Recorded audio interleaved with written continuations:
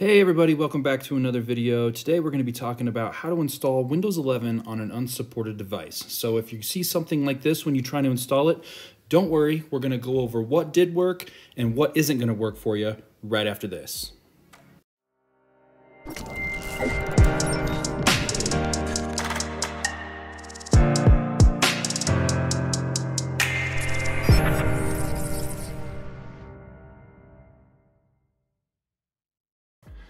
Hey everyone, today we're going to be talking about how to install Windows 11 on an unsupported PC, whether that be not having the proper CPU, not having uh, TPM 2.0, or any of the other system requirements for Windows 11.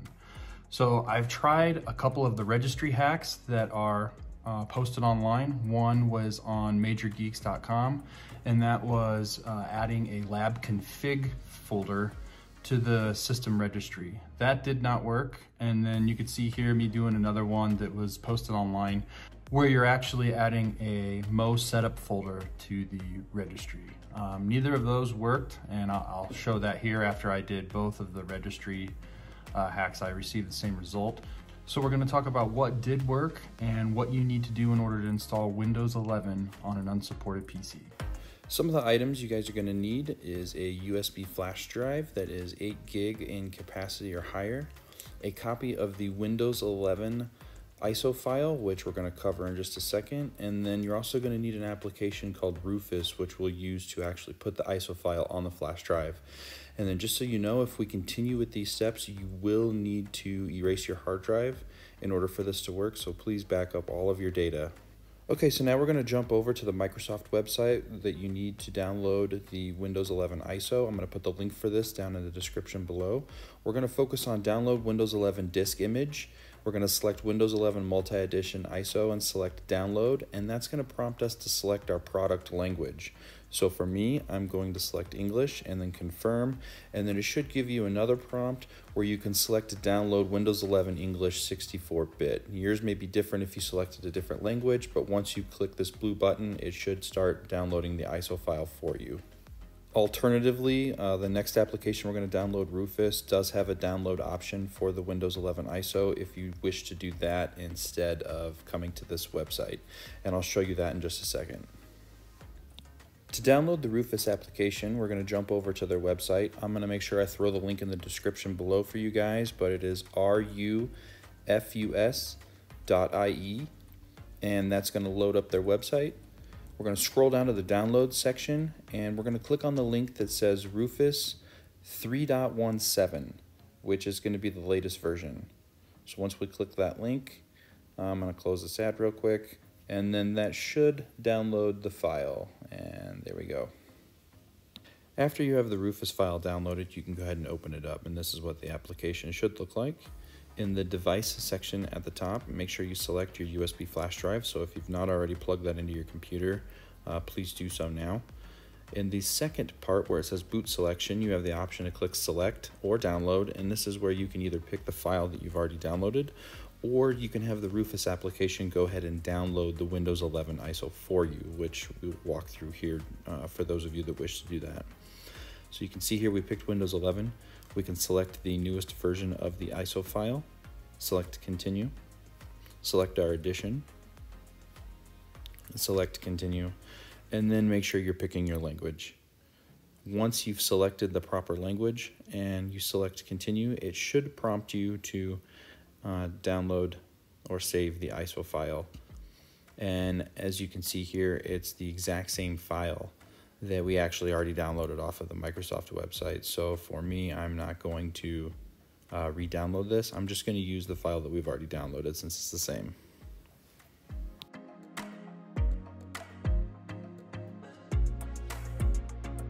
In the next section under image option, we want to make sure that we're selecting on here and we pick extended Windows 11 installation, no TPM, and no secure boot. This is what's going to patch the ISO file to work on your unsupported systems.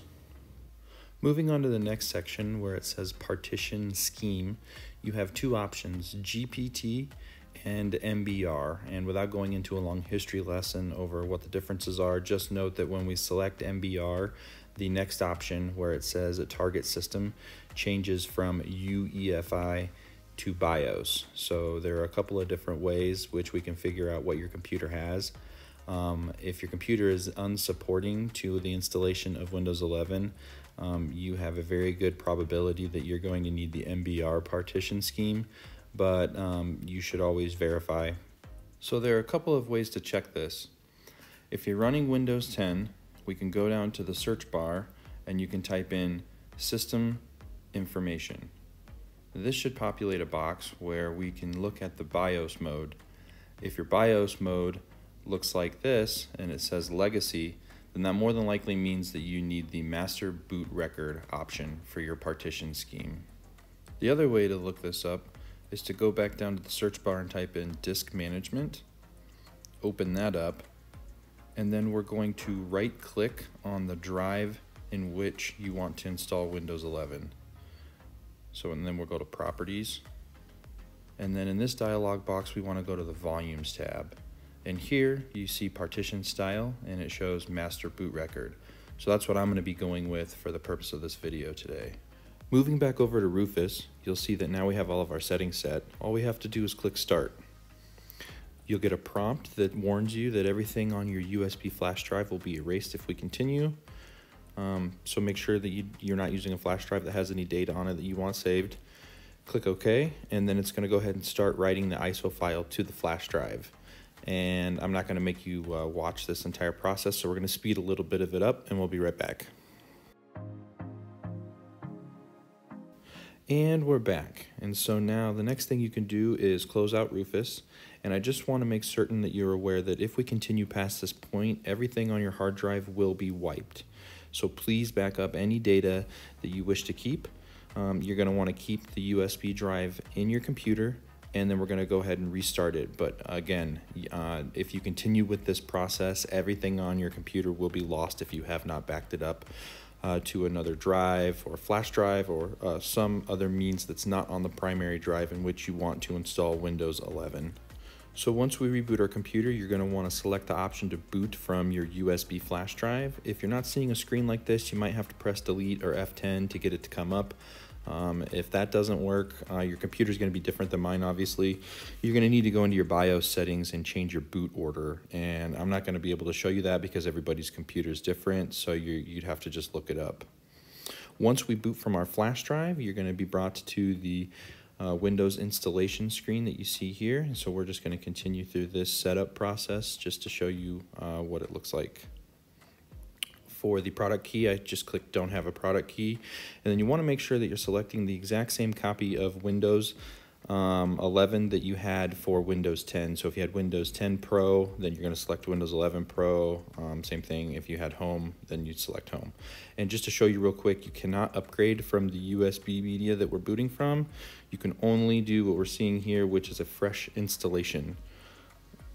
so for me, I'm going to go ahead and wipe my hard drive. So I'm going to delete every single one of these partitions and then I'm going to reformat the drive.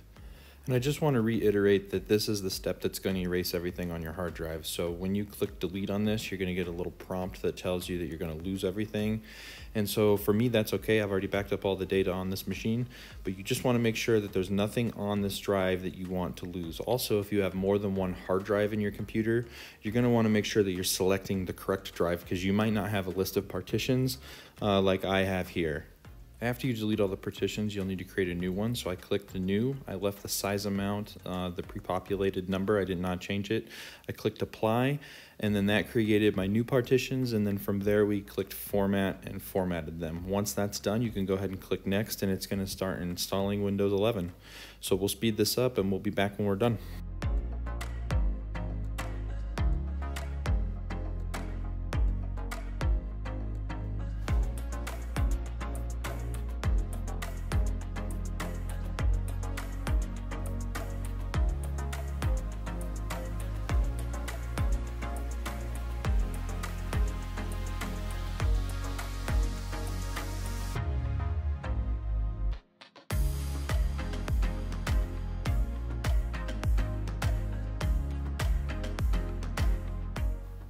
All right, and we're back, and we got Windows 11 finally installed. And I just want to show you real quick uh, that there was no trickery in any of this. We're going to bring up system information and show you this is the same computer. Um, we're still running an unsupported secure boot state. Uh, nothing has changed here, and um, and then I'll show you that if you log in to your uh, the same account that you were logged into for Windows 10, so your Microsoft account um, that you should, at least in my case, uh, Windows was already pre-activated even though we did not put a key in earlier. Now this was just my experience. I don't know if Microsoft will change this or patch it in the future, but it looks like my Windows 10 key was uh, automatically upgraded to Windows 11 without any issues and I didn't have to do anything for that. It seems to be an automatic process. And sorry, my, my drivers are installing since we just installed Windows and things are updating, so it looks like my resolution just changed on you guys. Okay, so once you get the control panel open, I'm to bring up System and look at the information on this specific computer. So we're going to scroll down and we're going to look at our Windows version. You can see we have Windows 11 Pro. I had Windows 10 Pro before upgrading, and then we click on our product information. You can see there that we are activated despite not putting that code in.